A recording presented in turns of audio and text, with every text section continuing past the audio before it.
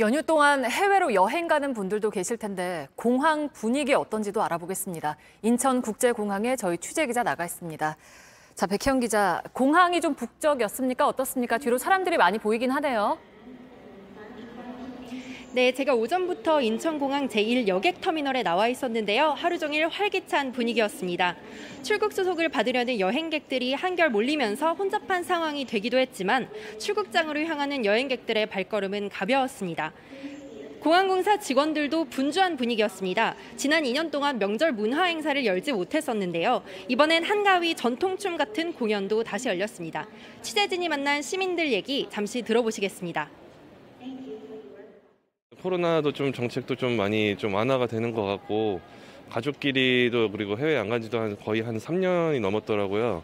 전 이미 여행의 시작이에요. 공항에 오랜만에 와서 너무 좋아요. 네, 그리고 며칠 전부터 바뀐 게 있는데 현지에서는 이제 PCR 검사 안 받고 와도 되는 거죠? 네, 지난 3일부터 입국 전에 코로나 음성 확인서를 제출해야 하는 제도가 사라졌습니다. 한국으로 들어오기 전 코로나 검사를 현지에서 받고 확진 판정을 받을 경우엔 현지에서 격리를 했어야 했는데 이런 부담이 사라진 겁니다. 하지만 여전히 입국 후 1일 이내에 PCR 검사는 받아야 합니다. 네, 그래서 아마 여행객들이 더 늘지 않을까 싶은데 이번 추석 연휴 동안 하루에 얼마나 공항을 많이 이용할지 뭐 취재가 된 게 있습니까? 네, 인천공항 측은 오늘부터 연휴가 끝나는 12일까지 공항 이용객이 약 30만 명에 이를 것으로 보고 있습니다. 하루에만 평균 약 5만 9천 명이 공항을 찾는 건데요. 작년 추석 때는 9천 명이 안 됐습니다. 1년 사이에 무려 5배가량 늘어난 겁니다.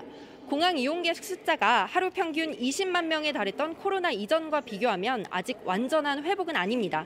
하지만 입국 전 검사가 폐지된 지 얼마 되지 않았기 때문에 연말부터는 관광객들이 더 늘어날 것으로 전망하고 있습니다. 네, 알겠습니다. 인천국제공항에서 백희영 기자가 전해드렸습니다.